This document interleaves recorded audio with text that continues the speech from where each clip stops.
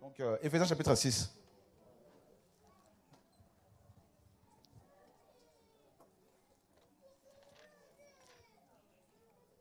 Et c'est vrai que vous voyez, le problème que nous avons souvent, nous chrétiens, c'est quoi? C'est que nous prions que le Seigneur nous visite, nous prions que le Seigneur nous libère, nous prions pour que le Seigneur nous parle. Quand la vérité vient, quand une parole vient, et que cette parole paraît et, euh, contredire ce qu'on a, on a, toujours dit, on a toujours vécu, ben, on sort de ce gond et on est titillé et puis c'est compliqué. Au lieu de dire, qu'est-ce que Dieu dit? Et là, nous allons dire, moi, je pense. Vous voyez la religion? Et c'est quand, quand le, moi prend la place de, la, de Dieu, quand le moi remplace la parole, c'est là où il y a des dégâts. Il y a quelques mois, un frère est venu me voir, il me dit, mais Dieu n'a pas quitté son trône. Et effectivement, je dis, mais c'est vrai, effectivement, Dieu n'a pas quitté son trône. Quand on dit que le Seigneur est venu nous sauver, ben, Dieu, toujours, Dieu est toujours Dieu. Dieu ne quitte jamais son trône. On comprend, parce que la, terre ne peut, même pas le contenir, même l'univers. Donc, vous voyez, c'est ça la vérité. Une sœur a partagé en disant, mais il n'y a pas de volonté permissive. Je dis, oui, tu as raison, il n'y a pas de volonté, permissive. Avec la volonté du Seigneur? Donc, il faut être assez humble pour dire, non, mais c'est la parole, c'est la vérité. voyez? Donc, sinon, on ne va pas être réformé, on ne pourra pas grandir, on ne pourra pas aller plus loin. Pourquoi faisons-nous les choses telles que nous le faisons? Est-ce pour autant maintenant qu'il faut aller condamner les autres? Ce n'est pas ce que nous disons. Est-ce pour autant qu'il faut jeter la pierre sur les autres? Non, ce n'est pas ça l'amour. Mais il faut qu'on aille plus loin. Qu'est-ce que l'Église?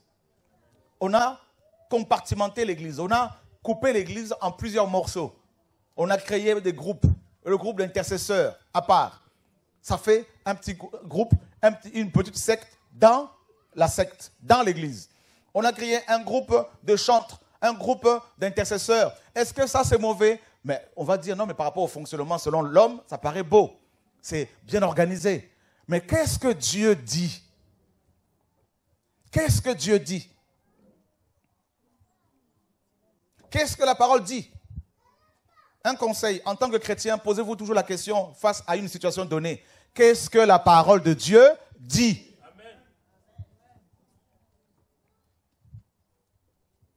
Par rapport à cette situation, par rapport à tel problème, qu'est-ce que Dieu dit dans sa parole? Ceux qui ont leur, permis savent comment ça se passe quand tu es sur la route. Ben voilà, tu- si tu ne veux pas avoir des problèmes avec la police, avec l'État, ni de problèmes de santé, accident, tout ça, ben, il faut te conformer au code de la route. C'est comme ça. Et bien Dieu, c'est pareil. Nous avons un livre que le Seigneur nous a révélé. Dieu dit dans sa parole, dans Matthieu 18, 15, à partir du verset 13 jusqu'au verset 19, il dit au verset 18, Et moi, je te dis à Pierre, tu es Pierre, et que sur ce roc, je bâtirai mon église. Je bâtirai mon église. Et l'église du Seigneur est une famille, c'est la famille de Dieu. C'est la nouvelle famille. Parlons de cette famille en quelques, quelques minutes. Il y a la famille physique, biologique, et la famille spirituelle. Et la famille spirituelle se compose d'hommes et femmes que nous sommes, à la tête de laquelle il y a, justement, de cette famille, il y a le Père céleste. Et Dieu, qui est notre Père, avant de lire Éphésiens, on va prendre Matthieu 23, le verset. Nous parlons de la famille, la famille spirituelle. Matthieu 23, nous lisons le verset 9. Le Seigneur dit,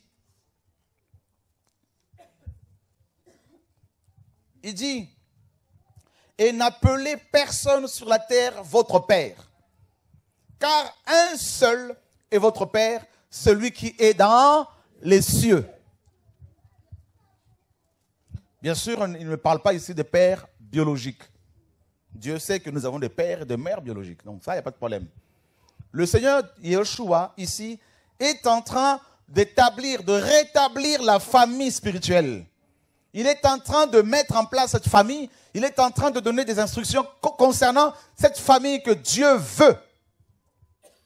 Et il donne un ordre. N'appelez personne sur terre votre Père. Alléluia. Car un seul est votre Père, celui qui est là-haut. Et dans les années 30, il y a une doctrine qui a pris de l'ampleur aux États-Unis. La doctrine de la couverture spirituelle. Suivez très bien ce partage. La couverture spirituelle. Et on a commencé à enseigner aux gens dans les années 30, jusqu'à ce jour malheureusement, que chaque chrétien, chaque disciple doit avoir un berger. Chaque chrétien doit avoir un père spirituel. Mais malheureusement, cet enseignement tire sa source au premier siècle, lorsque Cyprien de Carthage, un évêque, un de pères de l'Église, va dire dans ses écrits que chaque Église doit avoir à sa tête un homme, un pasteur, un seul. Même bien avant lui, Ignace d'Antioche, qui a vécu entre 135 et 107 après Jésus-Christ, dit dans ses écrits que vous pouvez trouver sur Internet, si vous tapez Ignace d'Antioche, vous allez voir ses, épîtres, il dit clairement que chaque église locale doit être dirigée, hein, chaque chrétien doit suivre l'évêque comme s'il suivait Dieu lui-même. Et dans les années 30, ces, enseignements de père de l'Église ont été mis à, jour. Et on a commencé à imposer aux chrétiens d'avoir un père spirituel.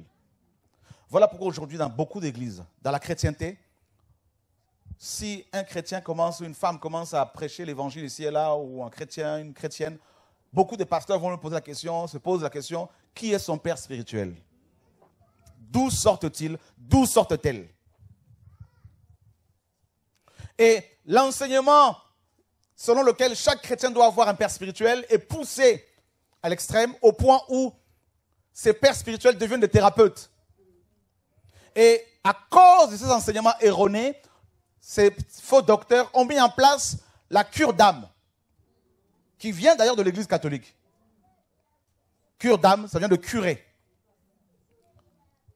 Et ils ont mis en place, à cause de ces enseignements qui sont, ces enseignements qui sont censés vous contrôler, ils ont mis en place la cure d'âme, ils ont mis en place, euh, comment dire, la relation d'aide qui n'est rien d'autre que la, psychologie chrétienne. Et du coup, vous allez voir des pasteurs qui disent que c'est moi qui encadre ce frère. Je suis en train de faire son suivi depuis des années. Et le frère qui est ainsi encadré, suivi par un pasteur, va lui rendre des comptes sur sa vie parfois euh, professionnelle, sa vie spirituelle, sa vie maritale, sa vie euh, émotionnelle, tout. Sa vie intime parfois. On a connu le cas d'un pasteur chez nous qui fonctionnait comme ça il n'y a, pas longtemps. On l'a exposé et on l'a expulsé de l'assemblée. Qui fonctionnait comme ça avec des frères et sœurs, les appelant, notamment les femmes essentiellement, pour les manipuler, pour les capturer et allant jusqu'à leur, faire danser nus sur, sur Internet, au téléphone. Voyez? À cause d'enseignements erronés, aujourd'hui, Dieu dans les nations interpelle son peuple, appelle son peuple à la repentance, nous appelle tous à la repentance, au retour au pied du Maître, à la parole et non au raisonnement. Les enseignements sur les pères spirituels et les fils et les fils spirituels sont poussés à leur paroxysme aujourd'hui, au point où, si vous voulez vous marier, des pères spirituels vont vouloir bénir votre mariage. L'heure est grave. Et on ne trouve cet enseignement nulle part dans la parole de Dieu. Nulle part. Je dis, nulle part. Et ces pères spirituels vont s'octroyer des droits que vos pères biologiques ont, au point d'exiger justement le paiement de la dîme, comme Vous le savez. Vous gagnez votre argent, vous dites qu'il faut payer le dixième de votre salaire pour être béni par l'homme de Dieu. Et ça va loin et ça détruit Haïti actuellement avec ces enseignements-là. Ça détruit l'Afrique. Ça détruit le Maghreb, l'Asie, l'Amérique latine, les États-Unis, partout. Où des chrétiens, souvent mal enseignés, qui ne veulent pas se baser sur la parole, sont manipulés, contrôlés.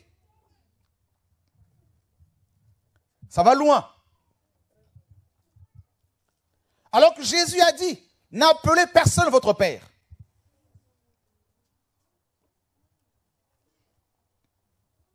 Père spirituel. Et ces pères spirituels, certains d'entre eux vont vous dire que c'est eux qui vous ont amené au Seigneur. Alors que personne n'amène personne au Seigneur. C'est l'Esprit de Dieu qui convainc les cœurs. Alléluia. Le Seigneur a dit, personne ne vient à moi si le Père ne l'attire. Il y a des pères spirituels et des mères spirituelles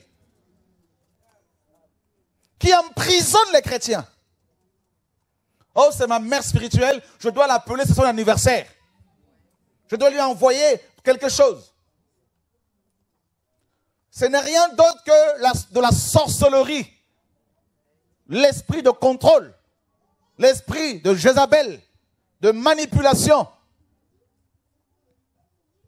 Ils vont jusqu'à vous donner des, diplômes pour le baptême, pour s'assurer qu'ils vous contrôlent. Carte de membre.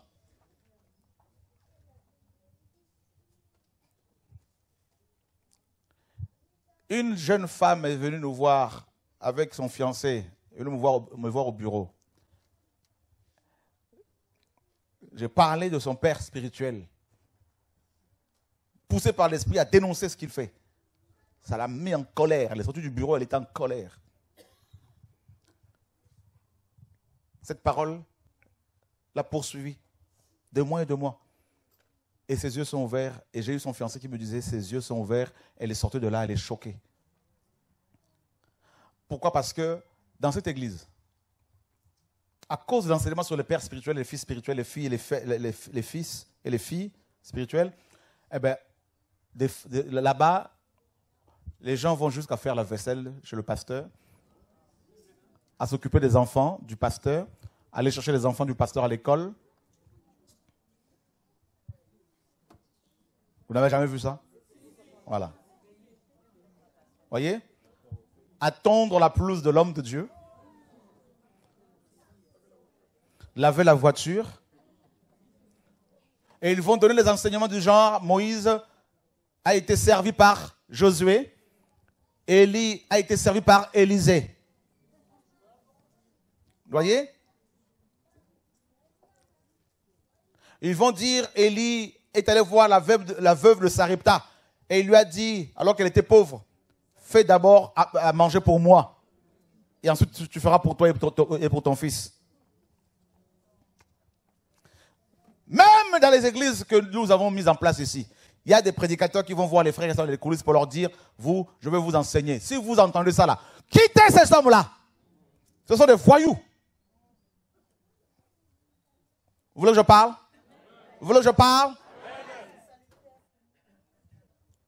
Nous n'enseignons pas ces choses-là. Ils vont vous voir dans mon dos, dans les coulisses. Oh, Dieu m'a mis à cœur de vous former. Contrôle, contrôle, contrôle, contrôle.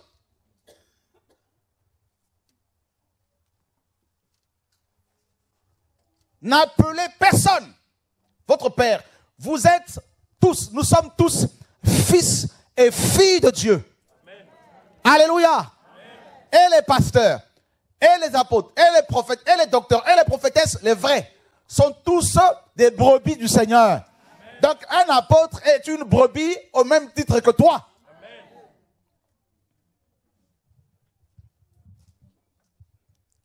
Le Seigneur dit quoi? Voici donc comment vous devez prier.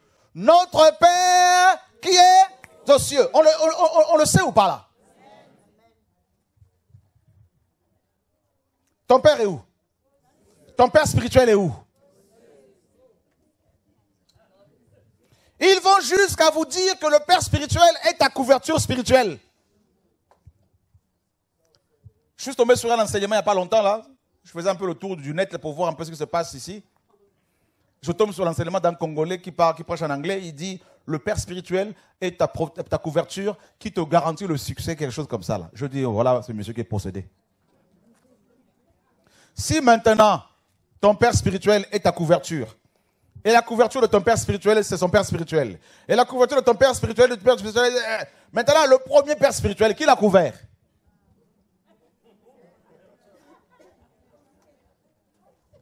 Alléluia. Qui était la couverture d'Adam? Dieu. Hein? On est d'accord, hein? Maintenant, pourquoi ne pas chercher Dieu comme couverture directement? Psaume 91 nous dit que celui qui demeure sous la couverture du Très-Haut repose à l'ombre du Tout-Puissant. Vrai ou faux? Alléluia Ta couverture, c'est ton Père spirituel qui est là-haut, qui assure sur son trône. Je veux te dire une chose. Tu sais que tel que tu es là, tu es comme tu es une brebis que Satan veut croquer à chaque fois. Tu dois te sauver à chaque fois. Tu es comme un, comme, comme un œuf, fragile. Et on veut te mettre la main dessus pour te contrôler. Si tu n'es pas prudent, tu tombes dans le piège. Et souvent, les pères spirituels, il y en a qui vont vous dire, ceux qui ont l'argent, Oh, mais ton père est sorcier, il ne faut pas le fréquenter, tout ça là. Tu restes à l'église. Et pour te contrôler bien comme il faut, ils, vont mettre programme sur programme. Du lundi au lundi. Lundi, réunion de la jeunesse. Mardi, réunion de femmes. Mercredi, réunion des hommes. Mais vous allez voir, les diacres sont appelés à, rester toujours, être toujours là. Certaines personnes. Qui ne voient plus leurs enfants, leurs femmes, leurs maris. Hein?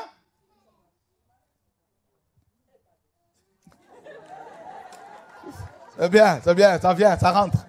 Alléluia. Il y a des pères dans la foi. Les pères dans la foi ne sont pas là pour prendre la place du père spirituel. D'ailleurs, ils ne sont pas là pour dire moi je suis un père. Non, non, non, non, non, non, non, non. Pendant, lors de mariage, là, vous allez voir les pères spirituels, là, ils ont des, tables bien garnies. Hein. Parfois même le papa biologique est relégué là-bas au fond de la salle. On dit celui qui est assis là-bas, c'est qui? On dit c'est l'homme de Dieu.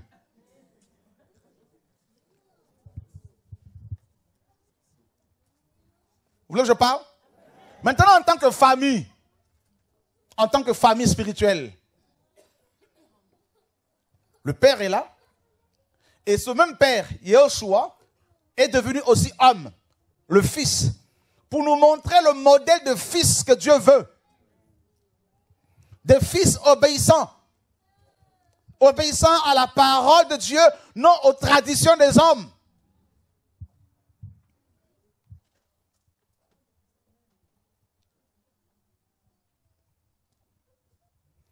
Et dans cette famille-là, la famille spirituelle, il n'y a ni juif, ni grec, ni blanc, ni noir, ni arabe, ni chinois, ni marron. Il ne doit pas y avoir une église, hein, comment dire, euh, essentiellement noire ou blanche, tout ça là. Nous sommes tous un. Donc quand j'ai affaire à un chrétien blanc, noir, jaune, marron, c'est mon frère, c'est ma soeur. Et dans cette famille spirituelle, ben, si tu es noir, tu peux épouser une blanche. C'est pas pour les papiers ou pour, pour l'argent ou pour, pour, alléluia. Vous voulez que je parle, frères et sœurs? On va parler. Donc celui qui est en train de dire non, moi je, suis chrétien mais je ne veux pas épouser une antillaise, c'est un raciste, il est possédé.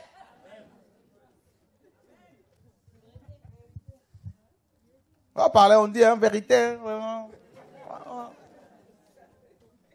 Vous voulez qu'on parle? Parce que la famille que nous sommes là, écoutez bien, hein, elle est spirituelle.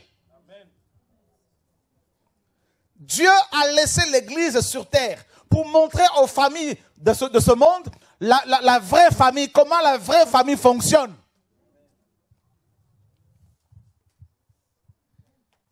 Donc si tu es là, quand tu vois des, Français de blancs venir Est-ce que tu leur fais la bise? Est-ce que tu les salues? Ou est-ce que tu, les tu passes devant eux sans les calculer? Toi, tu te diriges seulement vers quelqu'un de ta tribu.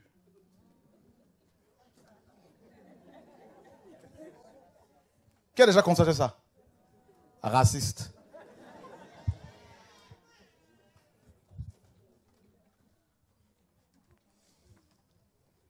Tu es là, il y a des, frères et sœurs d'autres nations qui sont là, des Antilles. Toi, tu, es là, tu ne fais que parler le lingala.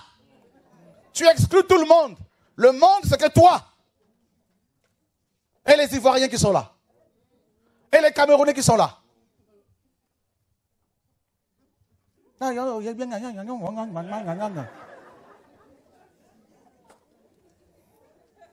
Vous voulez que tout le monde se mette à parler en langue, quoi? Tout le monde n'a pas le don d'interprétation. Hein. Vous voulez que je parle? Alléluia Qui a déjà constaté ça? Hmm?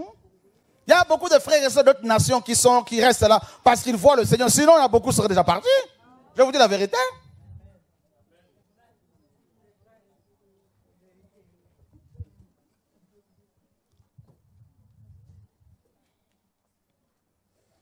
C'est une famille.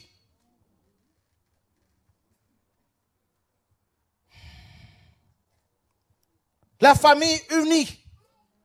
Tu es dehors, tu rencontres un autre chrétien, même s'ils ne sont pas de ton assemblée locale. Mais c'est un enfant de Dieu, non? Ne le juge pas par rapport à l'assemblée où il prie. S'il craint Dieu, s'il aime Jésus, s'il marche selon la parole de Dieu, c'est ton frère.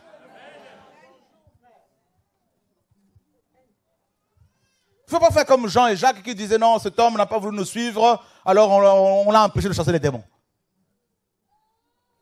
Et on n'est pas là non plus pour dire à tous, les chrétiens, venez prier chez nous. C'est pas ça. Tout ce monde, vous allez mettre tout ce monde là-haut. Vous voulez que je parle? Alléluia Non, moi, moi, moi, je suis baptiste, alors les pentecôtistes, non, mais s'ils craignent Dieu, ce sont tes frères et tes sœurs. C'est pour ça que je vous dis, il faut toujours se dire, qu'est-ce que la parole dit? C'est ce qu'il faut se dire.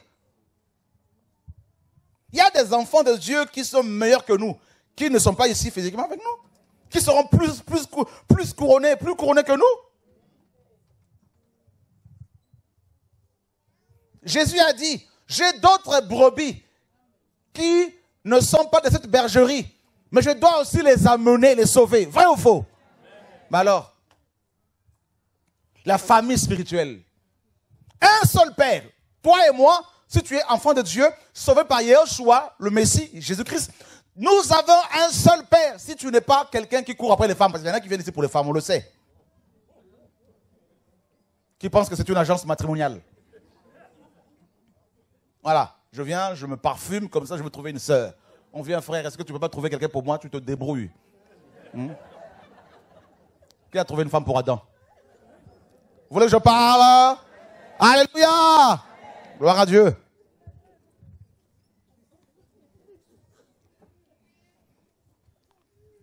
On a conseillé dans le passé. Maintenant, on a dit non, non, non, ça c'est une affaire privée. Hein? Les gens. Voilà. C'est juste une parenthèse pour rappeler à certaines personnes qu'on est au courant. Je sais. Une fois Aurélie. Aurélie avait quoi à l'époque hein? Notre sœur, euh, femme de Loïc. Elle n'était même pas encore mariée. 18 ans, quelque chose comme ça, 19 ans ou non, non, même pas 22 ans, qu'un monsieur de 40 ans, lors d'un programme de réveil, la coince quelque part là-bas pour dire non, je veux t'épouser. 20 ans d'écart. Ici, il n'y a pas de pédophile. Dans notre royaume, pas de pédophile. T'es quoi T'es quitté Abraham? Aurélie a parlé de ça. On a dénoncé ce monsieur là, tout ça là. La famille spirituelle. Nous sommes frères et sœurs. Amen. Donc si une sœur a un problème, qu'est-ce que nous devons faire? Il faut lui venir en, en aide. Vrai ou faux? La famille. Maintenant, pour finir, dans cette famille-là, quel est le rôle des parents? Quel est ton rôle, toi, en tant que parent? Toi, à qui Dieu a donné les capacités pour avoir des enfants quel, est ton rôle, selon la parole D'abord, le rôle de la femme, ce n'est pas de faire à manger. Hein. Tout le monde peut faire à manger. Vrai ou faux? Quand on est chrétien, là. C'est pas de changer les couches, tout ça. L'homme peut changer les couches aussi. On a compris ça. Il y a des hommes chrétiens qui ne savent même pas changer les couches de leur bébé. Ce ne sont pas des chrétiens. Il faut être chrétien responsable. Vous voulez que je parle? On m'a raconté l'histoire d'un pasteur que je même pas. C'est un pasteur que je connais. Il sait même pas. Il appelle sa femme chérie, il faut rentrer parce que l'enfant fait caca, tout ça. Mais par contre, quand il faut prêcher, là, costard et cravate. Hein? Alléluia.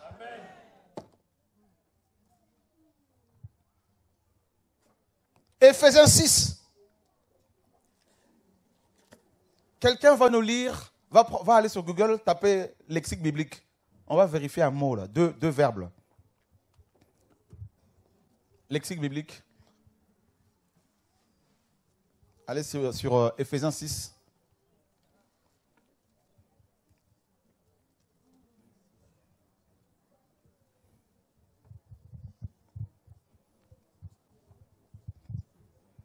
Parce que les, frères et sœurs se marient, mais il faut qu'ils sachent qu'ils connaissent leurs responsabilités. Selon la parole, qu'est-ce que Dieu attend d'eux? Voilà, il ne suffit pas d'avoir de l'amour pour une femme, pour un homme, hein, pour qu'un mariage dure. Il faut aussi connaître les règles.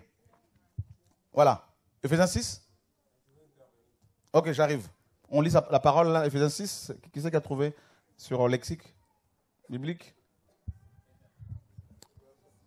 Tu, es dessus? Et euh, le verset 2, je crois. Honore ton père et ta mère, c'est le premier commandement avec une promesse, afin que tu sois heureux et que tu vives longtemps sur la terre. Et vous, pères, n'irritez pas vos enfants, mais élevez-les en les corrigeant et en les instruisant selon le Seigneur. Est-ce que tu peux cliquer sur euh, élever? Ça donne quoi? Nourrir jusqu'à maturité, élever, entretenir, apporter. Euh, c'est tout ce que je vois. Ok, je peux? Merci. Regardez, en tant que parents chrétiens, justement, nous sommes une famille, hein, et la famille spirituelle que nous sommes, Dieu l'a, n'est-ce pas, engendrée pour qu'elle soit le modèle aux familles biologiques, aux familles de ce monde qui n'ont presque plus de repères. Et aujourd'hui, on le voit, homme avec homme, femme avec femme. On parle de l'éducation nationale, mais on ne parle pas de l'éducation familiale. Les mots ont aussi un sens. C'est important. Je parlais tout à l'heure de Comenius. Comenius est le père de l'éducation nationale actuelle. C'était un protestant franc-maçon. C'est lui qui a mis en place la manière de façonner, de former les enfants de la maternelle jusqu'à l'école, euh, jusqu'à la fac. Et euh, je finirai, avec la, ou les responsabilités respectives des parents chrétiens vis-à-vis des enfants, selon la parole. Rappelez-vous bien que nous avons un Père, un seul Père, là-haut, choix, le Père céleste. Et il veut, et il est plutôt, je dirais, le modèle parfait pour les hommes chrétiens qui veulent avoir un mariage réussi, qui veulent avoir une famille réussie. Et comment le Père a fonctionné? Quel est le rôle du Père céleste vis-à-vis de nous? Et ici, la parole dit que les pères doivent élever les enfants. Ah, donc c'est à toi et moi, en tant que parents. C'est à vous, parents chrétiens ou parents inconvertis, athées, d'élever les enfants. Mais élever selon Dieu, c'est quoi? Et là, c'est... C'est, n'est-ce pas, d'abord nourrir jusqu'à maturité. Waouh Ça, c'est fort. Hein? Nourrir jusqu'à maturité. Donc ton rôle à toi en tant que parent, selon le modèle parfait, le Père céleste, c'est de nourrir ton enfant jusqu'à maturité. Et nourrir ici a deux sens. Nourrir sur le plan physique, l'enfant qui doit être allaité, voilà pourquoi les enfants sont allaités. D'accord? Et ce que, je veux, ce que je veux dire ici, ça peut vous choquer. Vous savez, ce n'est pas logique qu'une femme, à peine accouchée, reprenne du travail. Parfois trois mois après. On va sevrer l'enfant trois mois après. Et l'enfant va être confié à des nounous. Des gens, hein, qui souvent, on voit les vidéos parfois hein, sur le net, hein, qui, parce que l'enfant va pleurer, ne vont pas avoir la même patience qu'une mère, vont parfois donner des claques aux enfants. Et ces enfants qui sont si maltraités là, ils grandissent, ils grandissent dans cet environnement de souffrance, de blessures, de coups. Comment voulez-vous qu'ils se comportent demain? Mais dire ça à notre génération, c'est se créer des ennemis. Mais on va parler quand même, c'est la parole. Nourrir jusqu'à maturité. Hum? La nature même nous enseigne.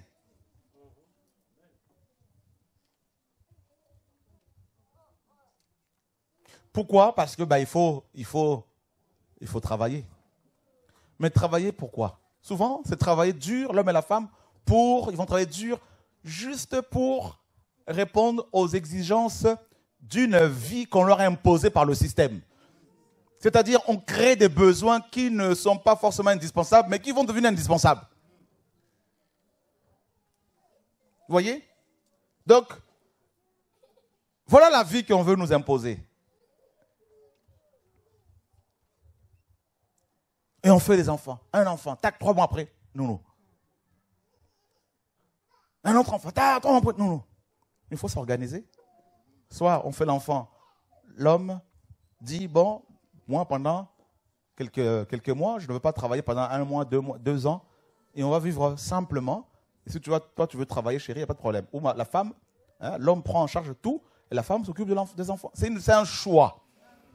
Vouloir des enfants, c'est aussi une responsabilité. Et on doit vous enseigner cela en tant que chrétien. Voilà ce que la parole dit. Donc l'enfant qui vient au monde, c'est ton enfant.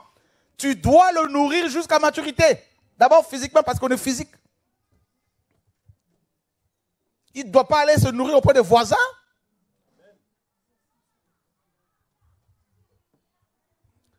Il y a des familles que je connais ici, en, France, en Europe, certaines familles africaines, qui mettent des cadenas sur les, les, placards pour ne pas que les enfants aient accès à la nourriture. Qui a déjà vu ça? Soyons sincères, levez les mains. Qui ne savait pas ça? Les frères et sœurs des Antilles sont choqués. Ma soeur, tu as déjà vu ça? Oui, oui, la femme de mon petit frère. Qui d'autre a déjà vu ça? Bien. Tu as déjà vu ça, non? Oui. Oui, hein? Ouais, même euh, chez moi, ça se passe comme ça. C'est, chez toi, ça se passe comme ça? Ouais. Maman est chrétienne? Oui. Elle est là? Euh, non, elle est pas. Ma soeur, on va se voir. On acclame le Seigneur.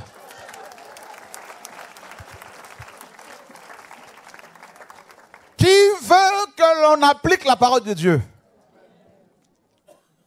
Ça va toi? L'heure est grave. Dieu pleure. Regardez, viens, viens me voir un peu. Viens, viens, s'il te plaît. C'est une jeune fille que j'aime beaucoup encourager. Elle est comme ma fille. Et euh, elle a connu quelques combats. Elle se bat. Elle aura peut-être donné son témoignage un jour. J'ai eu à parler, parler avec elle, parler avec sa mère. L'ennemi l'avait récupéré pour aller dans tout ce qui est drogue, tout ça, euh, shit, tout ça là. Pourquoi? Parce qu'à la maison, bagarre, problème, problème dans le foyer, papa, maman, placard cadenassé. Non, non, on rigole, mais il y a des gens, qui souffrent. T'as quoi aujourd'hui? 19 ans, c'est ça 19 hein? ans. Comment voulez-vous que cet enfant-là, qui a grandi dans une famille, dans un, dans un environnement où l'accès à la nourriture lui était interdit, lui est encore interdit, comment voulez-vous qu'elle n'aille pas voler dehors? Comment voulez-vous qu'elle n'aille pas se prostituer pour avoir de l'argent pour, pour manger? Parce que les enfants ont besoin d'une certaine alimentation pour pouvoir se développer. elle est privée de cela. C'est des choses qu'on a vécues aussi. Je me rappelle quand j'étais au collège ici. Vous voyez ce qui se passe? Mais pourquoi on n'enseigne pas dans les assemblées? Mais pourtant, souvent, ces parents-là vont dans les assemblées. Nous sommes dans un pays où il y a l'abondance. Dans un pays où il y a les restes du cœur. Dans un pays où l'on peut avoir facilement accès à la nourriture. Que Dieu soit béni pour la France. Que Dieu soit béni pour les Français. Nous pouvons acclamer Dieu pour les Français. Oui. Que Dieu bénisse le président, les ministres, les députés, les sénateurs. Contrairement à d'autres présidents, d'autres sénateurs qui prennent tout pour eux, mais quand même en France, même un tout petit peu, on pense au peuple. Merci.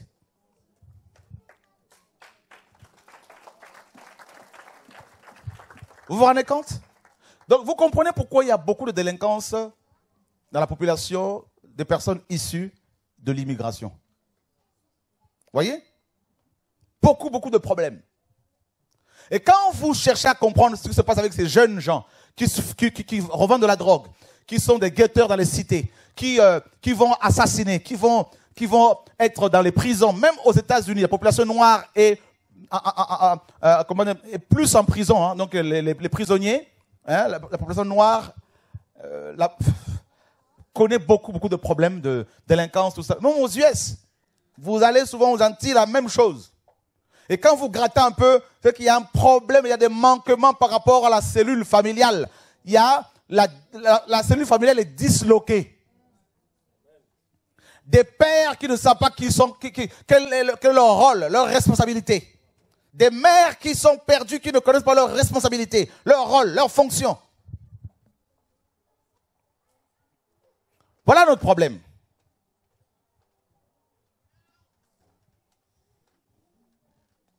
On fait des enfants, on fait des enfants, on fait des enfants, on fait des enfants.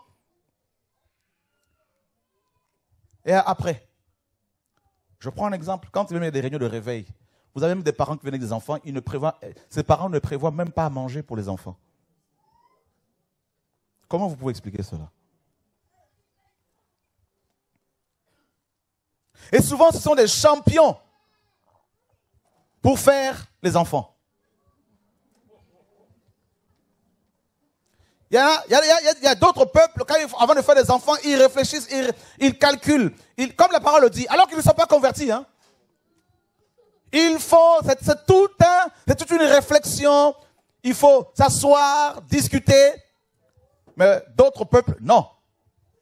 La seule distraction qu'ils ont, c'est le sexe. Vous voulez que je parle?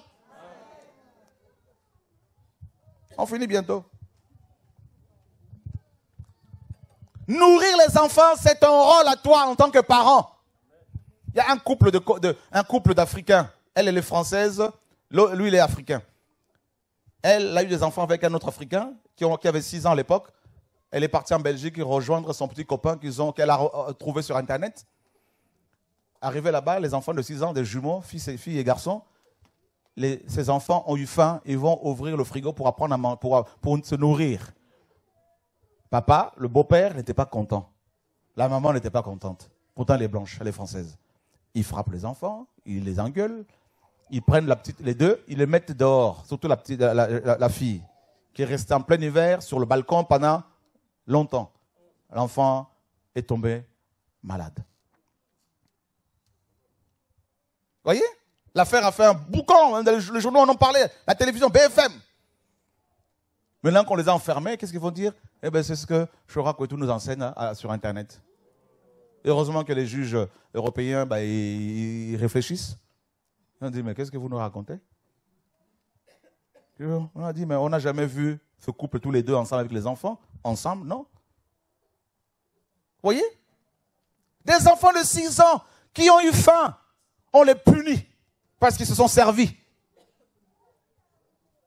Qui ici ferme les, placards pour ne pas que les enfants aient accès à la nourriture? Soyons sincères. Levez les mains. Dieu nous voit. Il y a la repentance là. Il faut, il faut de la repentance. Qui? Qui veut se repentir? Ma sœur? À la, à la rentrée, tu, tu- tu- tu le fais. Il ne faut plus faire ça. Oui, ma sœur. Toi, tu caches pourquoi? Parce qu'il prend tout. Mais ces enfants qui mangent? Non, il est seul, mais il, c'est- il- il prend tout. Il, il mange tout. ben, il faut qu'il ben, c'est qu'il a faim. Il mange, il a il a faim. Alléluia. Je l'ai fait, je me repens parce que mes petits-fils, euh, quand je vais au époux, je vais au Cameroun avec mon époux, je amène pour eux, mais pour mon époux, ils sont rentrés manger tout. Alors, comme mon mari ne mange pas n'importe quoi, j'ai mis la chaîne, ils ont même cassé. Donc, j'ai mis le frigo dans la chambre. T'as mis carrément une chaîne. Oui, On acclame le Seigneur pour la repentance de la sœur. Alléluia. Tu vois, ma sœur, il se passe beaucoup de choses ici. Hein?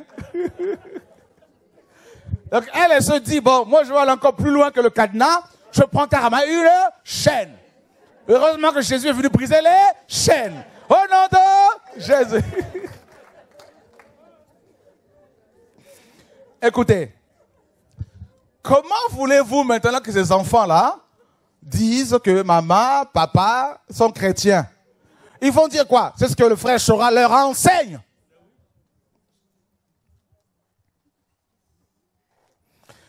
Élever, c'est nourrir jusqu'à ma maturité. Amen. Voilà. Quand ils mangent beaucoup, très bonne question. Ok, très bonne question. Ma sœur a posé la question. Et quand les enfants mangent beaucoup Bon, il y a plusieurs raisons à cela. Il y, a, des enfants qui mangent beaucoup parce que ils sont angoissés. Parce que c'est une, façon de se protéger de quelque chose, de combler un vide. Peut-être même qu'ils n'ont pas reçu votre amour. Ben oui, ça peut arriver. Ben oui. C'est comme les gens qui vont se droguer, qui vont fumer. Il y a toujours une raison à cela. Peut-être peut- peut-être qu'il y, a- une blessure quelque part, il faut discuter avec les enfants. C'est pour cela qu'il ne faut pas mé- mépriser les enfants. Ce sont de- de- des enfants, des êtres qui peuvent comprendre, même s'ils sont petits, il faut discuter. Souvent, les gens ont tendance à lever la main, à taper. Non, discuter même quand ils ont un an, ils ont un an, deux ans, parler avec eux. Éduquer, c'est aussi dialoguer, c'est échanger. Ce n'est pas crier. Parce que beaucoup d'Africains, beaucoup de parents, hein, même Européens, il y en a, ils ne font que crier. Et quand, même les Antillais aussi, quelques frères et sœurs des Antilles, qui vont crier sur les enfants. Toi, fini, fini. hein. Le pauvre, l'enfant est traumatisé comme ça. Là.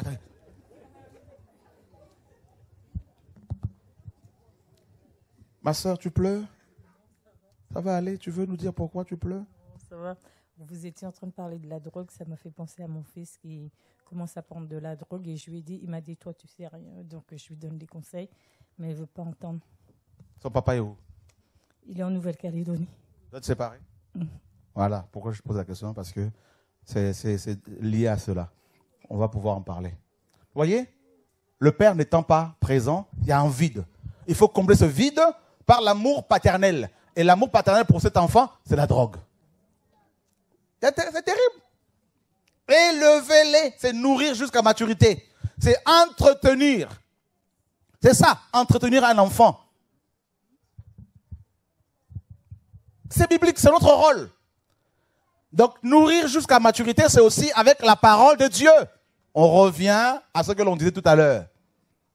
Vous faites des enfants, c'est une grâce, avoir des enfants, parce qu'il y a des couples qui souffrent et ils n'arrivent pas à en avoir.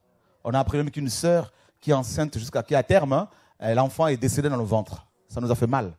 Et nous prions que le Seigneur vraiment fasse, si c'est sa volonté, euh, que ces enfants soient ramenés, ramenés à la vie. Cet enfant qui vient au monde, tu le nourris physiquement, c'est ton rôle. Donc si tu n'as pas les moyens pour pouvoir nourrir un enfant, ah ben, il ne faut pas en faire. Si tu arrives à faire des enfants, c'est que tu es capable de le nourrir. Donc tu le nourris physiquement. Mais maintenant, tu es chrétien, tu fais partie de la famille de Dieu. Quel est ton rôle, toi, en tant que mère? Regardez les proverbes, lisez beaucoup les proverbes. Proverbes 1, 2, 3, 4, 5, 7. Le, le- le- Salomon, le roi, dit même aux femmes, il dit, il dit aux enfants, n'oubliez pas la Torah de votre maman. Le mot Torah ici, c'est loi. Donc il dit l'enfant, enfant, n'oublie pas la Torah ou l'enseignement de ta mère. Il dit, écoutez l'instruction d'un père, mes fils. C'est pour cela que nous disons tout à l'heure, ma soeur, ce n'est pas de la méchanceté, ce n'est pas condamner les gens qui sont dans cette école euh, euh, de dimanche. Parce qu'il y a des enfants, il y en a qui, apprennent certaines choses. Ça, on ne peut pas dire le contraire. Mais en fait, notre mission, ce que Dieu me demande de dire aux frères c'est le rôle des parents. Qu'est-ce que la parole dit D'abord à la maison? Comment des familles chrétiennes fonctionnent avec les enfants? Comment vous, êtes avec vos fils et vos filles? Comment vous fonctionnez avec eux? Est-ce que vous priez avec eux? Est-ce que vous méditez la parole avec eux? Est-ce que vous leur posez des questions pour la parole? Vous leur laissez le temps de s'exprimer? C'est votre rôle, comme le couple a témoigné, tout à l'heure. L'enfant qui grandit dans cet environnement chrétien, où il y a la parole de partager, où papa et maman ne s'engueulent pas, où papa et maman ne sont pas divisés, papa ici, maman là-bas. Qu'est-ce que vous, vous allez donner comme témoignage? Parce que vous êtes séparés. Les enfants voient ça ils entendent tous vos, tous vos conflits. Même si vous partagez la parole avec eux, mais ils voient que vous ne la vivez pas. Comment voulez-vous qu'ils obéissent au Seigneur? C'est votre vie, notre vie. Et ensuite, ces enfants-là, qui sont enseignés à la famille, par la parole, par notre comportement. Si l'on va avec eux à des réunions d'église, on y va pourquoi? On dit aux enfants, nous allons voir d'autres frères et sœurs.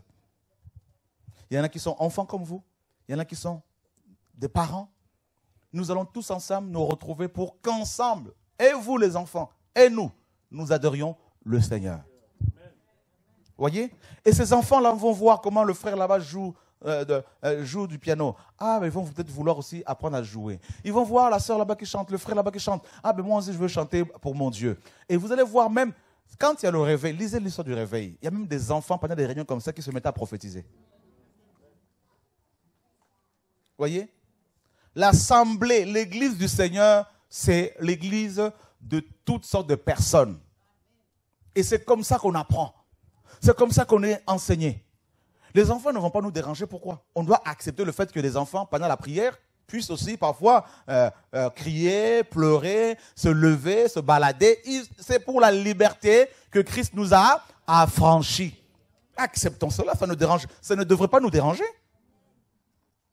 Non. Ce ne sont pas des êtres qu'il faut coffrer quelque part parce qu'ils vont déranger, parce qu'il faut... Non.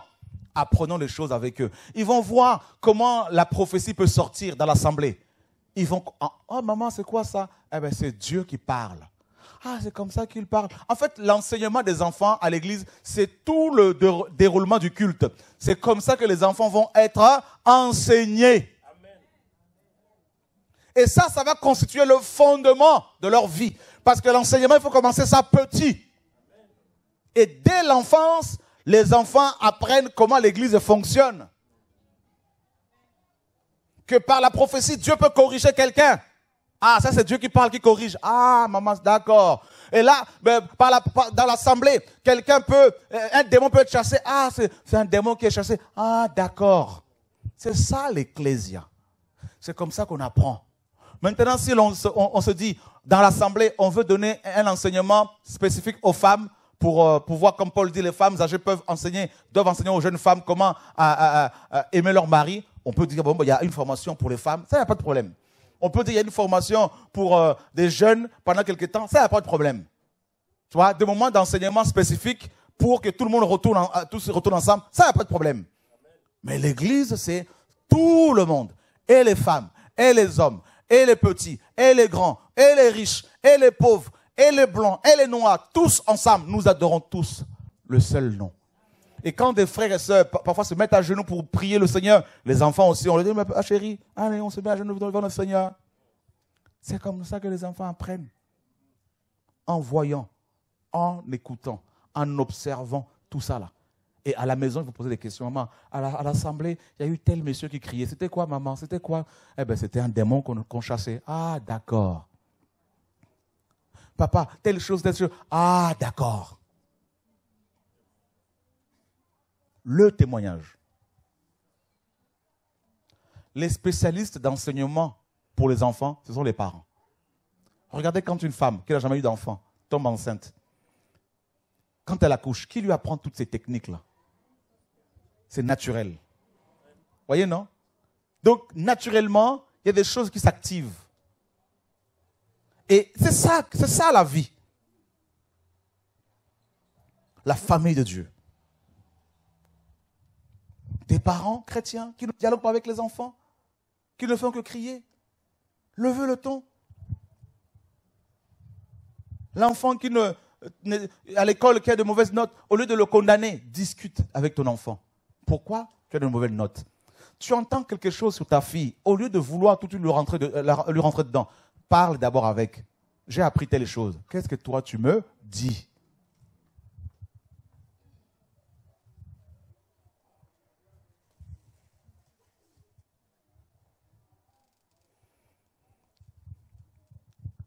Élever. Éduquer. Instruire.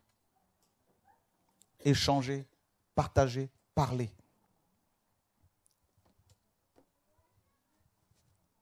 Est-ce que parce que nous sommes une famille spirituelle qu'il faut négliger la famille biologique? Non.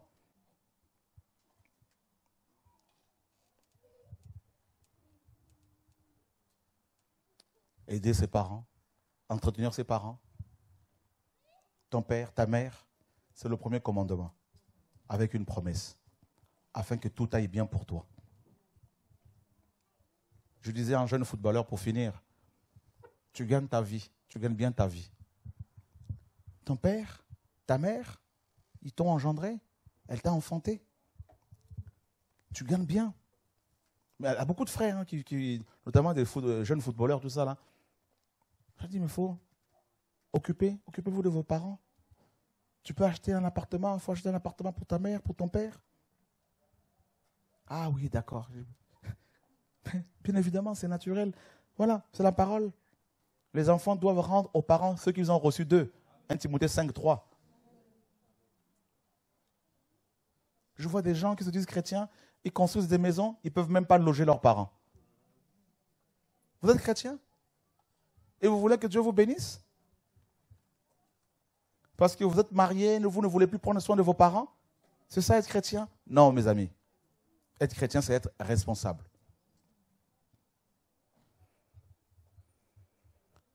Oula, j'ai vu que tu as bougé un peu là. Ça va? Qui veut désormais prendre soin de ses enfants, de leur éducation? Qui ne veut plus mettre de cadenas, qui veut nourrir les enfants maintenant correctement? Voilà. Gloire à Dieu. On finit avec ta question. Tu avais une question? Par rapport à tout à l'heure, ok. Ok. Père, n'irritez pas vos enfants. Hein? N'irritez pas. Souvent, les enfants, quand ils sont irrités, ils vont dehors. Qui a du mal avec ses parents? Qui veut réparer? Toi aussi? Oh, ta maman est là?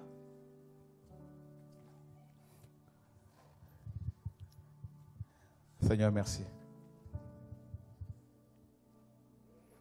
Qui a du mal à pardonner à son père? Waouh. Plus vous allez recevoir l'amour du Père, plus vous aurez la force pour pardonner à vos pères biologiques. Il y en a qui en veulent à leurs parents parce qu'ils estiment qu'ils n'ont pas été présents. Dans leur vie. Mais il faut pardonner. D'autres en veulent leur père parce qu'ils sont partis. Ils ont trompé leur mère, ils ont trompé leur, femme, ils sont partis avec d'autres femmes, ils ont quitté le foyer, ils les ont abandonnés. Le Seigneur me montre toutes ces souffrances-là, des blessures dans le cœur. Il y a des gens qui ont vu leur mère pleurer, gémir, souffrir. Des gens qui ont vu leur mère dans la dépression,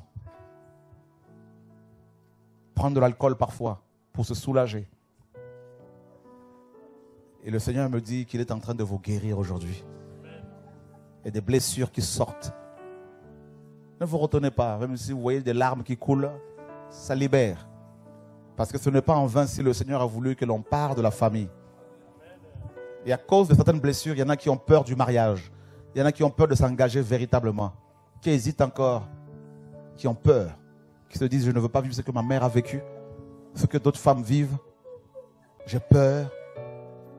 Vous avez besoin de l'assurance. A des secrets de famille parfois qui ont du mal à être dévoilés.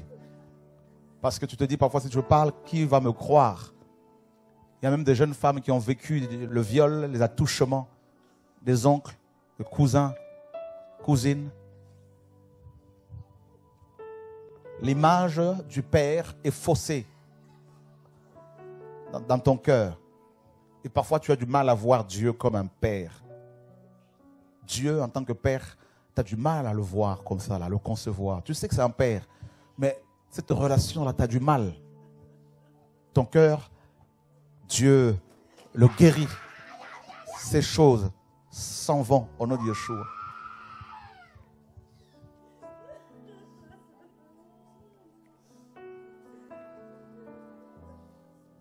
Oh Dieu. C'est vrai que tu as accepté le mariage, que tu ailles jusqu'au mariage? Par rapport à ça, tu es guéri, restauré, mais les enfants, ça te fait peur. Parce que tu ne veux pas qu'ils vivent ce que tu as vécu.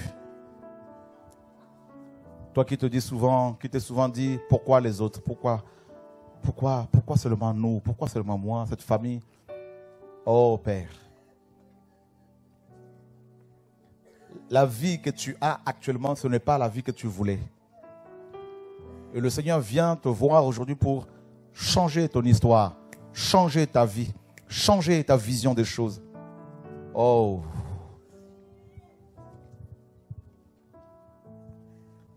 Quelqu'un se sent comme en prison, se sent comme emprisonné, bloqué, comme si tu tournais en rond, tu faisais du surplace.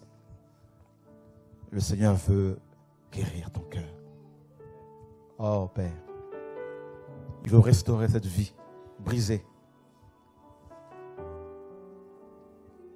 Une autre vie est possible pour toi. Possible, oui, possible. C'est possible. Oh Seigneur. Oh Père. Oh Père. Cet homme a volé ta virginité. Cet homme a volé ta, ton innocence. A volé ta gentillesse. Tu lui as fait confiance. Il est venu, il a pris, il est parti. Ton cœur est déchiré. Ton cœur est blessé. Ton cœur est cassé. Tu essaies de te reconstruire, mais tu ne sais pas comment. Et aujourd'hui, femme, Dieu t'a attiré ici. Le Seigneur est en train de mettre sa main sur ton cœur et de soigner ton cœur en profondeur. Au nom de Yeshua. Oh Seigneur. Il y a des choses en toi qui vont sortir. Quelque chose qui est là au niveau de ton âme, qui va sortir, qui remonte. C'est un démon qui a profité de ta blessure pour demeurer dans ton âme. Et il s'en va. Sors de là, esprit impur. Quitte-la. Voilà. Ça vomit ces choses. Voyez comment les démons sortent Il y a un démon de suicide qui est là. Un démon de mort qui te poursuit, qui te fait croire que cette vie, elle n'est pas bonne pour toi. Tu dois mourir. Et tu commences à demander même la mort au Seigneur. Tu veux partir, tu veux partir tôt, alors que tu n'as encore rien fait pour le Seigneur. Dieu ne veut pas que tu partes. Et aujourd'hui, femme, c'est ton jour, le jour de ta restauration, de ta délivrance. La puissance de la mort sort de toi. Quitte sa vie. Au nom de Yeshua. Sors d'elle. Cette chose bloque tout ce que tu veux faire. Cette chose t'empêche d'être heureuse, d'être heureux. Cette chose n'est-ce pas, t'impose une autre vie. Jesus Christ. Oh. Tu as vu la méchanceté de l'être humain. Tu as vu à quel point l'être humain est méchant. Tu ne sais plus à qui faire confiance, à qui te confier. Tu ne sais plus à qui t'ouvrir. Le Père céleste est là pour te restaurer. Dieu t'entend. Dieu connaît tes problèmes, tes combats. Le Seigneur dit à quelqu'un, tu n'es pas seul. Tu n'es pas seul. Tu n'es pas seul. La preuve, il est en train de te parler aujourd'hui. Il t'a attiré de loin. Oh, alléluia. Comme le fils prodigue, le Seigneur veut restaurer ta vie. Cette vie que l'ennemi veut voler. Il veut voler ton appel. Il veut t'empêcher de répondre à l'appel du Seigneur alors que Dieu t'appelle à le servir. Dieu t'appelle à le servir véritablement. Le Seigneur guérit ton âme, il restaure ton âme. Alléluia, gloire à Dieu. Seigneur, merci pour ta fidélité. Merci pour ton amour, Seigneur. Quelqu'un d'autre se sent seul. Tu es seul dans ton combat. Tu es seul dans ta marche. Tu es seul dans tes épreuves. Tu es seul. Dans ta solitude, le Seigneur vient te guérir. Dans ta solitude, Dieu vient te restaurer. Dans ta solitude, il vient te restaurer. Maintenant, cette chaîne, cette chaîne, Dieu la brise au nom de Yeshua. Il la brise véritablement. Tu pleures pour que ta famille soit libérée, pour que ton père soit libéré. Tu pleures pour ne pas qu'un membre de ta famille soit récupéré par l'ennemi. Que personne n'aille en enfer. Telle est ta prière. Et le Seigneur entend tes prières, femme. Le Seigneur entend tes prières. Dieu t'a sorti de loin. Dieu t'a attiré de loin. Voici ton jour. Voici ton jour. Voici ton jour. Il te guérit en profondeur. Il te libère en profondeur. Il te restaure en profondeur. Cette chose s'en va. Définitivement. Maintenant, sors d'elle. Au nom de Jésus, tu sors d'elle. Néanmoins, tu peux prier pour elle. Il y a une chose qui s'en va là, cette chose-là. Toutes ces blessures-là. Toutes ces blessures. La puissance de la dépression est brisée. Oh, oh, oh, oh, oh, oh, oh.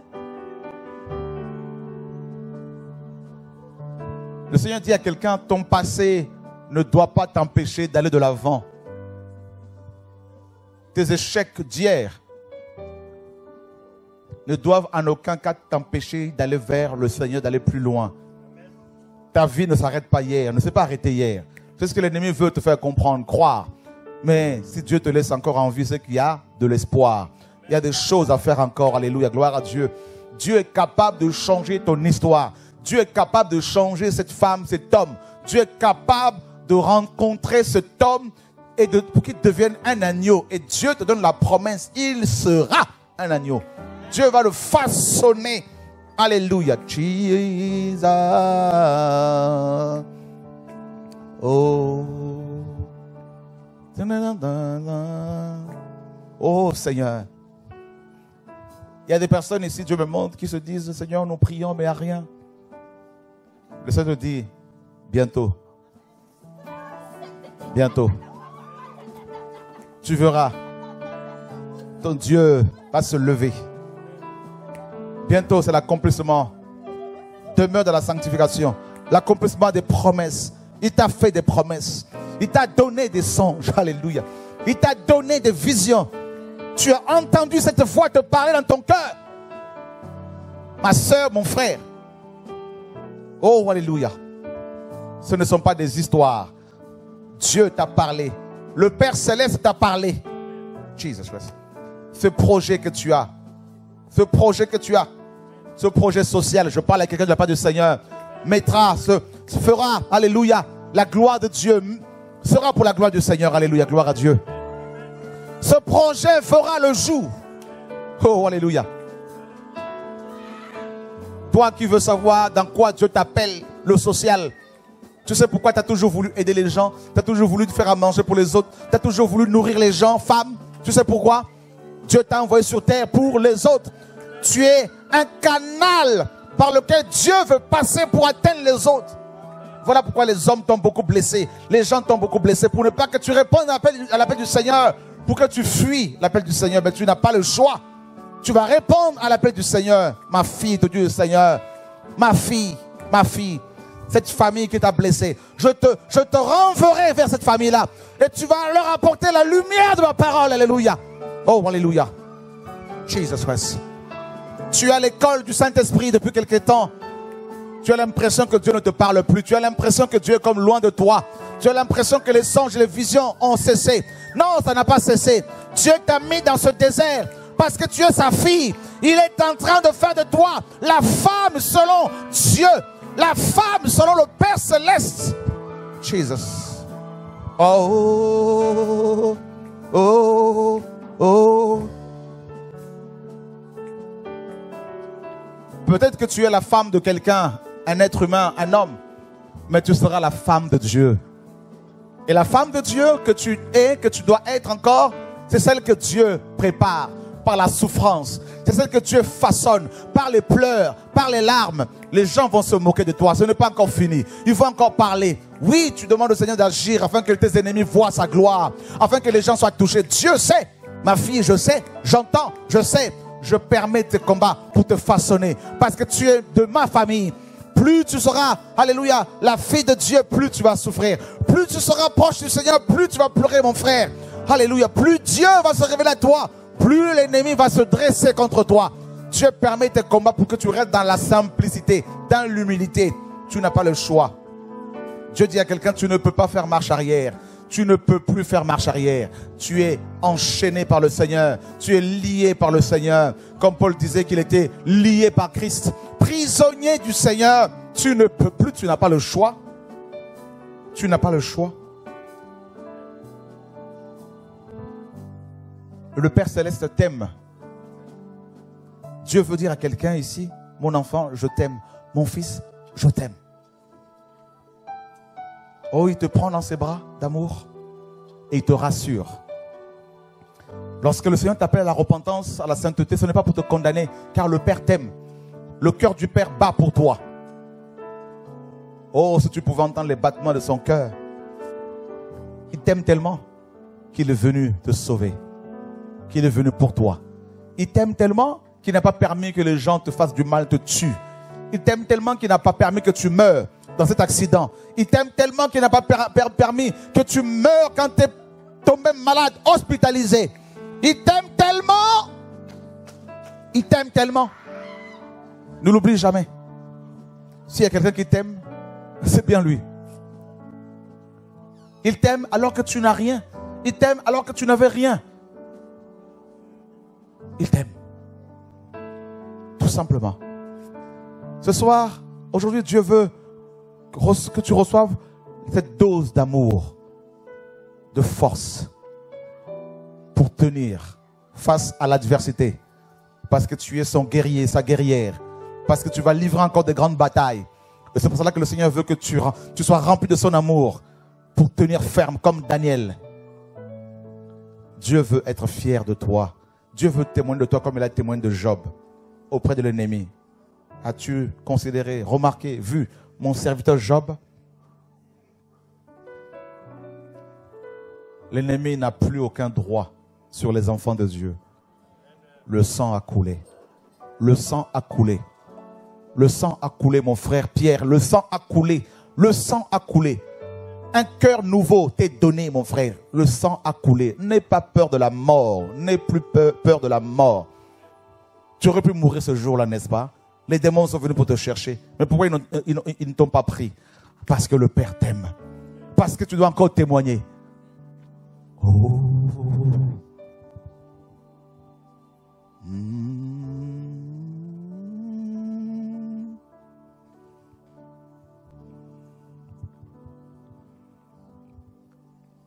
Un couple marié depuis 9 ans cherchait des enfants. On a presque fini. L'amour du Père. Nous sommes partis quelque part à mission. Le Seigneur dit appelle ce couple-là. Oh Seigneur. Le Seigneur dit qu'ils aillent acheter un berceau. Ils ont un enfant qui s'appellera Joël. Oh Seigneur. Même pas un mois. La sœur tombe enceinte. Et c'est Joël. Tu as vu l'amour du Père? Si Satan ne peut pas te toucher, malgré tes failles, malgré mes failles, mes défauts, c'est parce que le Père veille. Chaque jour. Chaque jour. Ce matin, vous savez comment il m'a réveillé? Il m'a réveillé pour la prière. Le Père est, magnifique. Il est sur son trône. Il nous, regarde. Ce trône qu'il n'a jamais quitté. Il me réveille pour la prière. Je me rendors. Et ensuite, à un moment donné, quelqu'un est venu. J'ai été tiré. Ouah Comme ça. Mon frère, c'est impressionnant. Comme ça, hein Je dis, mais. plus personne, je regarde plus personne. Je dis, mais Seigneur, c'est terrible ça quand même. Ça, c'est le Père. On vient t'attaquer à 3 heures du matin, il te réveille. Toi, je ne comprends pas. Il prie. Il veille. Tu roules en voiture, des démons viennent pour attraper ta voiture, les anges descendent et les démons s'écartent. Le Père.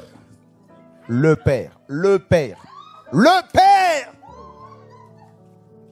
Le Père céleste. Tu as reçu le pouvoir pour devenir enfant de Dieu. Wow.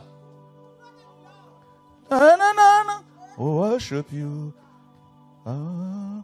Oh, oh, oh. Dieu veut qu'une de ses filles, un de ses fils ici, reçoive cette illumination-là. On ne mange pas une fille de Dieu. On ne mange pas un fils de Dieu. On ne mange pas, on ne touche pas, on ne lève pas la main. On, Tu n'as rien, c'est pas ton problème. Tu as tout. Celui qui a créé les cieux et la terre habite en toi. Hey! Hey! Le Père Le Père est là. Oh! Nous t'accueillons. Il est assis sur son trône. Et le pan de sa robe remplit les cieux. Il est tellement grand que nous ne pouvons que nous incliner et lui rendre des actions de grâce. Ha! Wow!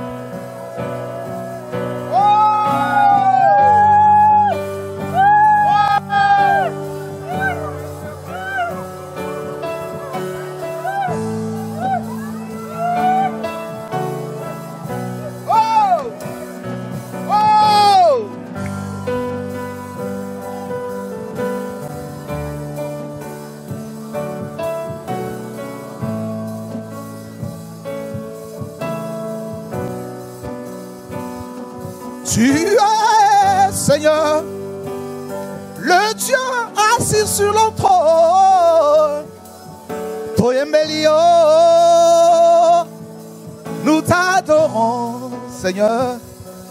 Reçois la gloire, reçois la louange, les actions de grâce, la magnificence. Nous t'adorons, Père. Tu n'as pas d'enfant? Adore-le.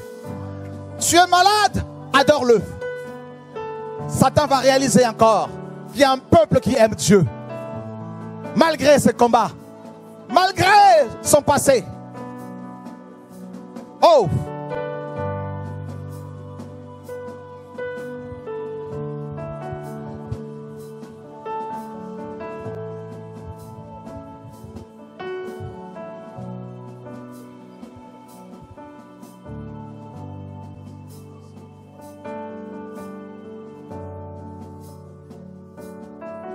Il guérit les cancéreux.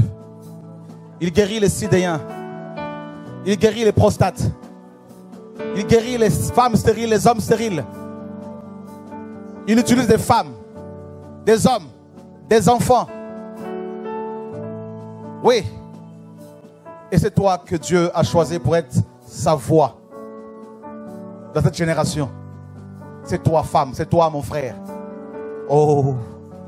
Oh,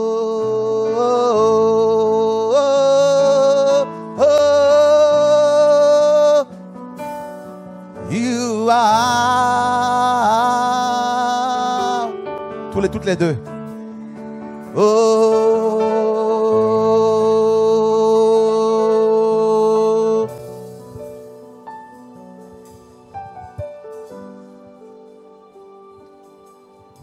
Même des enfants sont visités. Même des enfants sont remplis Jesus. Wow. Viens. Viens. Vous voyez comment Dieu touche les enfants aujourd'hui? C'est magnifique. Des anges sont là en cascade pour louer le Père. Waouh C'est magnifique. Oh,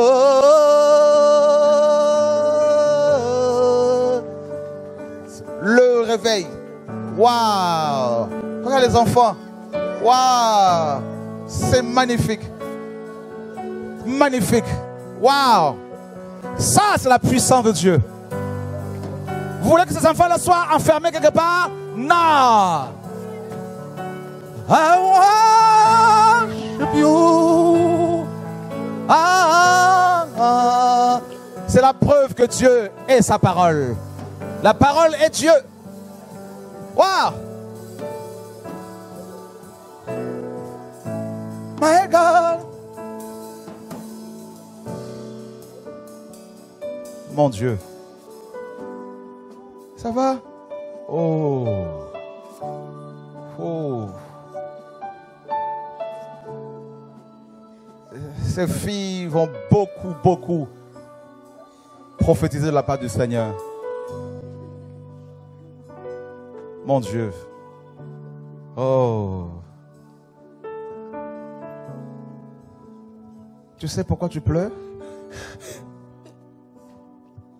Non, Tu as quel âge? 11 ans. 11 ans. Waouh. Tu sais pourquoi? Parce que Jésus est en train de me délivrer. Il est en train de te délivrer?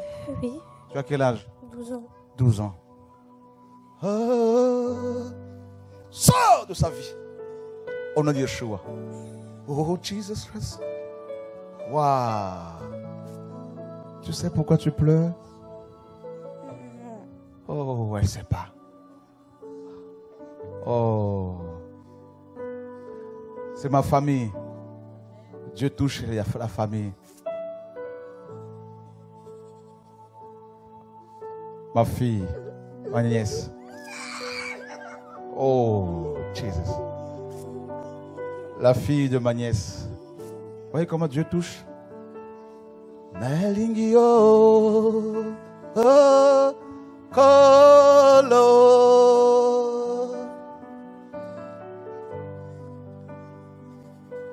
Ça, c'est la puissance de Dieu.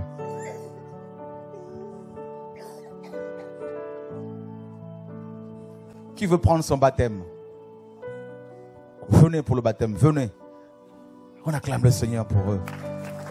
Oh, regardez-moi ça. Oh, oh,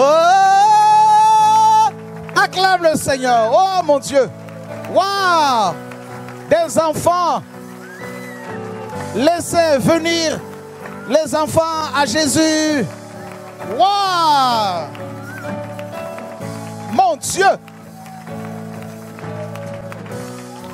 Wow! Wow! Wow! C'est jeune homme qui posait des questions. Alléluia! Wow! Jesus! Wow! Jesus! Mon Dieu, mon Dieu, mon Dieu. Ça, c'est la puissance de Dieu. Dis-moi, tu as quel âge? 8 ans. 8 ans. Et pourquoi tu es venu? Parce que je sais pas, je suis venue comme ça. Tu es venu comme ça? Oui, Oh, pourquoi tu pleures? Parce que je- Jésus il est là et je sais que quand papa et maman ils sortaient des fois, je regardais des dessins animés païens avec mes soeurs et je sais que c'était pas bien. Oh. Elle regardait certains qui n'étaient pas bien. Dieu l'a convaincu du péché à 8 ans. 8 ans. Waouh! Waouh! Ça, c'est la puissance de Dieu. Regardez cette, jeune fille également là, qui pleure et que, Dieu le délivre maintenant. Le démon s'en va là, au nom de Yeshua, la puissance de Dieu vient comme le Seigneur, alléluia. Oh, ça c'est la puissance de Dieu, frère. Ça c'est le réveil. Jesus Christ. Voyez ce démon qui s'en va là. Tu lâches cet enfant là au nom de Yeshua. Waouh. Tu as quel âge? J'ai 14 ans. Waouh. Et tu veux prendre ton baptême aujourd'hui? Oui. Oh, Seigneur. Waouh. Viens, viens, mon grand. Tu as quel âge, toi? J'ai 12 ans et demi 12 ans et demi. Et pourquoi tu es venu? Parce que je voulais prendre mon baptême aujourd'hui et, euh, et je vois, euh, en, voyant- en venant ici, je vois des personnes en train de se faire délivrer. Je- et dans mon, corps, je, dans mon corps, je vois un réchauffement comme ça. Je suis chaud comme ça, l'intérieur de moi. Et je comprends pas, du coup. Il a chaud, il ne comprend pas. Il est touché.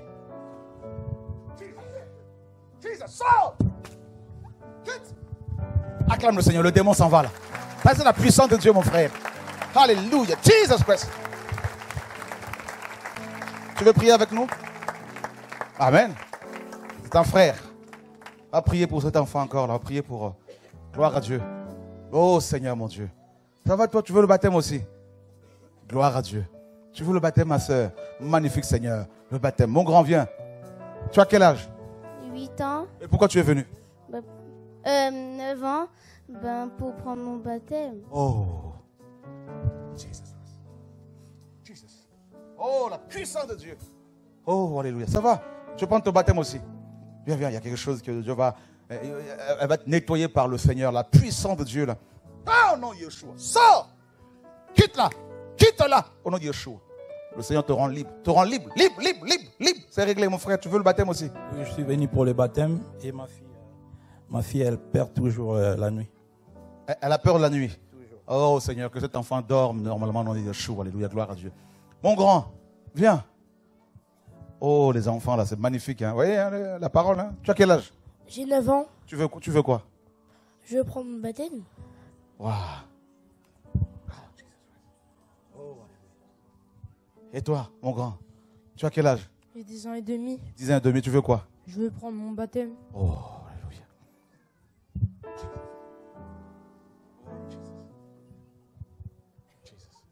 Tu veux le baptême aussi, ma soeur? Oh Seigneur, merci.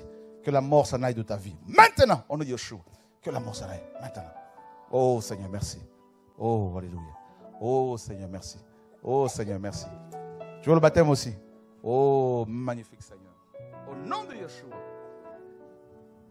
Tu veux le baptême aussi, ma soeur? Ça va? Tout va bien? Oh, tu as beaucoup pleuré. Tu pleures beaucoup. Le Seigneur va essuyer tes larmes. Magnifique Seigneur. Besoin de, Il a besoin de? De vous. Pourquoi? Non, comme ça, parce que regardez, il, euh, il est en mode. euh, Il a un mode. Ok. Il y a plusieurs modes, hein Ok. Ok. Bon, tu veux prier pour lui, hein? Tu peux prier pour lui? Ouais. Comme il a un mode. Bon, on y va. Tu vois, les enfants, ils apprennent, hein Ils ne savent pas ce que c'est, mais ils disent en mode. Bah, la gloire à Dieu. Mais moi, j'ai j'ai appris quelque chose, hein En mode. On y va là-bas. Allez, allez prendre le, baptême, là. Ça va, l'enfant va dormir normalement. gloire à Dieu, gloire à Dieu. Le Seigneur euh, est en train de libérer notre frère là, un militaire que le Seigneur a touché au nom de Yeshua. Alléluia, gloire à Dieu. Waouh, Seigneur, merci. Il y a une femme qui perd beaucoup de sang ici là. C'est qui? Qui perd beaucoup de sang là, que le Seigneur veut euh, guérir tout ça, qui a beaucoup de, une espèce de voilà, euh, beaucoup de sang, tu coules beaucoup de sang là, tout ça là, que le Seigneur veut guérir là au nom de Yeshua. Elle est où cette sœur là, au nom de Yeshua Oh, je, je t'ai même pas vu. C'est toi? Eh Ben oui, il y a du sang en plus. Je n'avais même pas vu, j'avais pas vu ça là. Oh Seigneur, merci. Jesus. Voilà, le Seigneur parle, hein? Jesus. Au nom de Yeshua. Il y a une, une femme qui a des douleurs au niveau du sein gauche, là, tout ça, là. Viens. Mhm.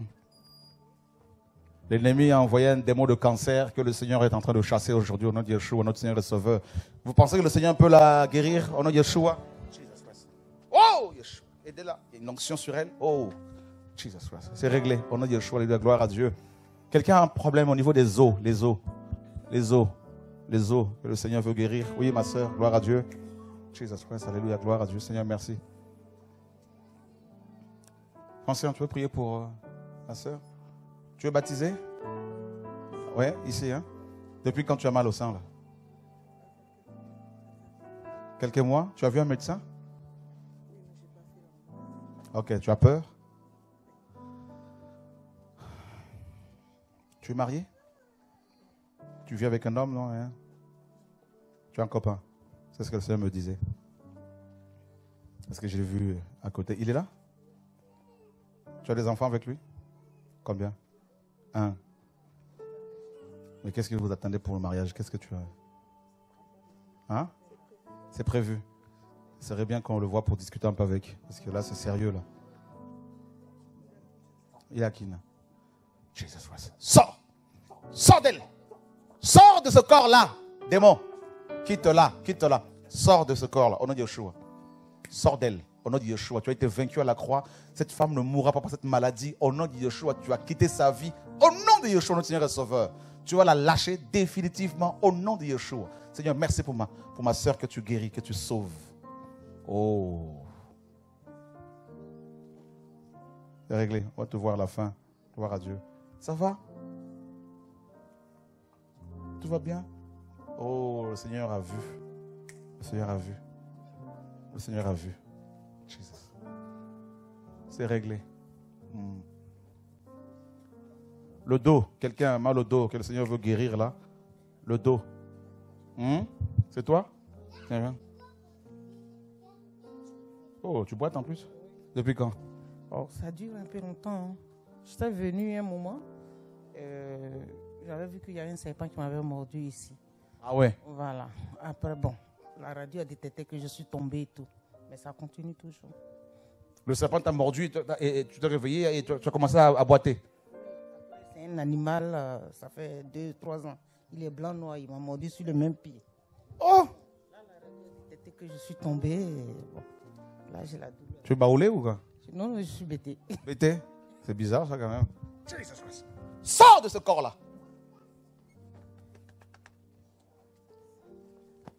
Au nom de?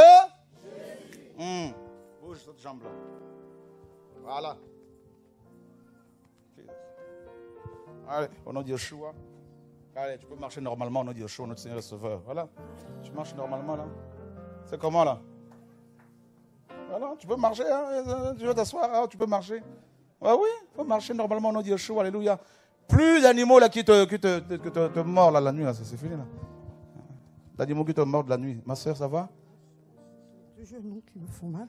Deux genoux, depuis quand? Deux genoux, mais euh, on a fait déjà des échographies, c'est euh, c'est l'arthrose. L'arthrose. Depuis combien de temps vous avez ce problème Ah, ça fait très longtemps, mais bon, comme euh, avec le temps, avec les infiltrations et tout, ça soulage. J'ai maigri, ça soulage, mais les douleurs sont toujours là.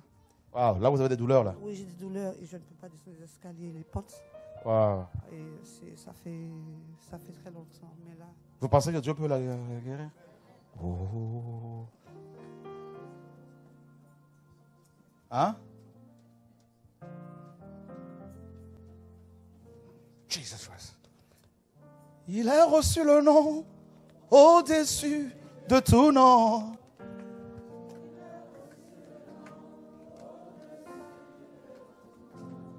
Quitte-moi ce corps-là au nom de Yeshua. Jesus Christ. Sors de ce corps au nom de Yeshua.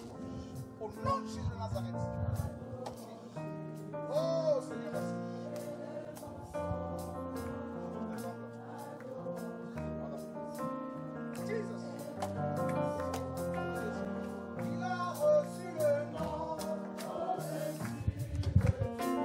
Jésus.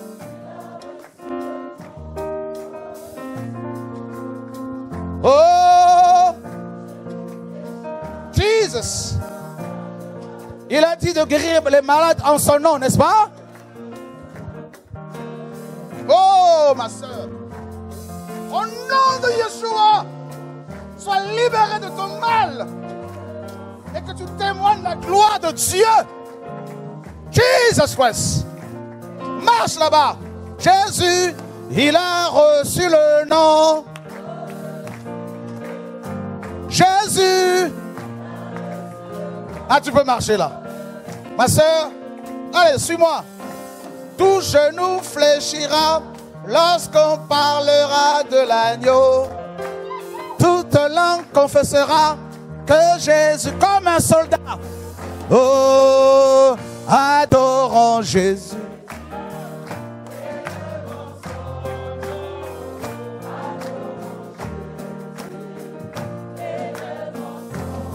Adorons. Ça va, frère? Tiens, tu peux rentrer chez toi. Il a reçu le nom. C'est quoi? J'ai un souci à la gorge et puis j'ai du diabète depuis 9 ans, donc... euh, sais, à la gorge et diabète. Vous pensez que Dieu peut le guérir là? Au nom de... Oh, Jesus Christ. Jesus Christ. Jesus. Il a reçu le nom.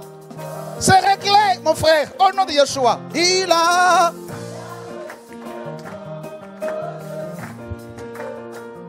C'est quoi? C'est la sclérose en plaques et L'arthrose. la sclérose en plaques. Et j'ai mal tout ce côté. La sclérose. Tout ce côté-là, c'est bloqué. bloqué. J'ai été faire le IRM hier. Apparemment, il y, a, il y a eu une poussée. Donc, euh, Qui peut te guérir ici? Jésus. Regarde, regarde.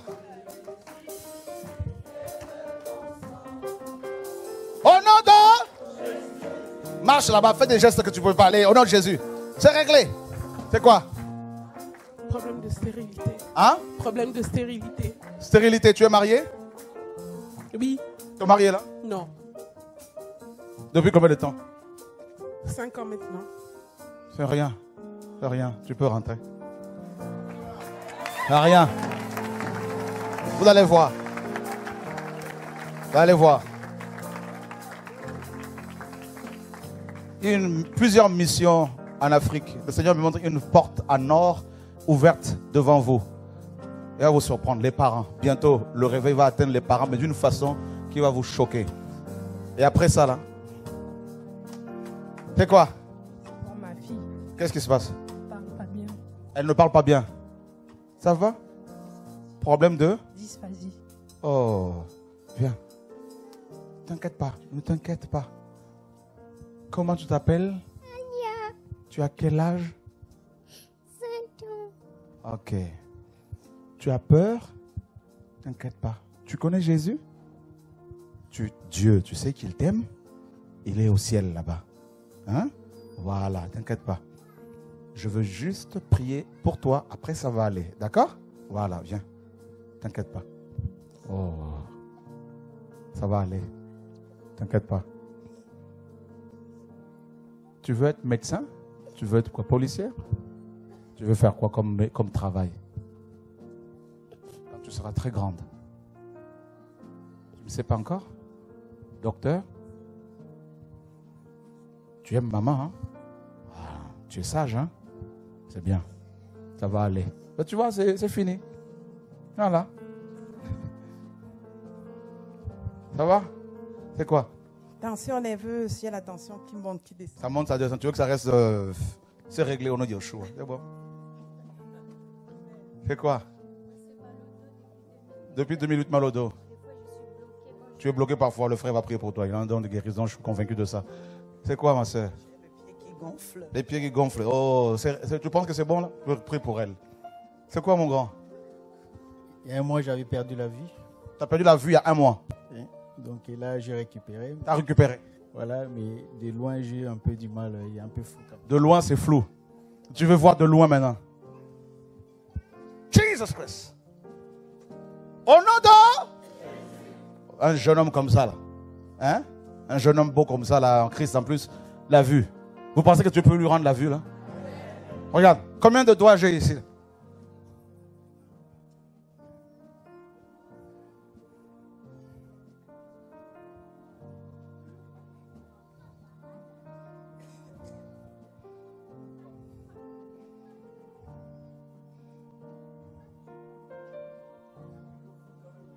Oh, oh, t'inquiète pas, t'inquiète pas, t'inquiète pas, t'inquiète pas. Au nom de Jesus. Ça va? Alléluia. Combien?